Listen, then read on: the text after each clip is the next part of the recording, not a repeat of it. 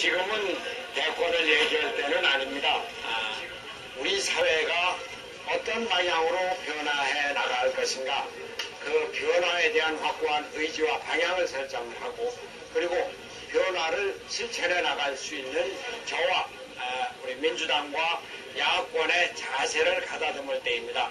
오늘 승리를 승리로 앉지 않고 변화에 대한 준비를 하라는 명령으로 안고 저 자신을 새롭게 하고 민주당을 새롭게 하고 민주개혁 진영이 새롭게 하나로 뭉치는 작업 이제부터 시작해 나가려고 합니다. 네, 사실은 저희가 여론조사에서는 엎치락 뒤치락하는 모습을 봤고요. 저희 출구조사에서는 한 10%포인트 정도 차이가 났었는데 아, 실제 결과는 그보다 좀 표차가 좁혀졌고요. 어떠셨습니까?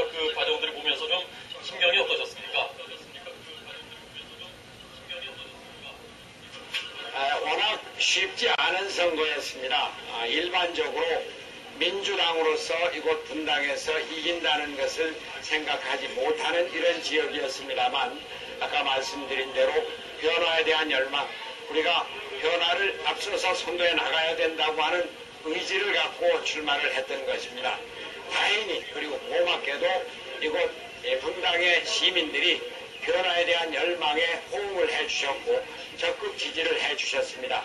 이만큼 예, 승리를 이끌어 주신 것 다시 한번 말씀드리지만 이제 제대로 우리 사회를 바꿔가라고 하는 지엄한 명령으로 알고 지금보다 더 낮은 자세로 겸손한 자세로 오직 국민을 섬기는 자세로 국민에게 희망을 드리도록 하겠습니다. 네, 알겠습니다. 그 말씀하신 낮은 자세, 겸손한 자세, 섬기는 자세 잃지 마시기를 부탁드리겠습니다. 축하드립니다. 축하드립니다. 예, 감사합니다.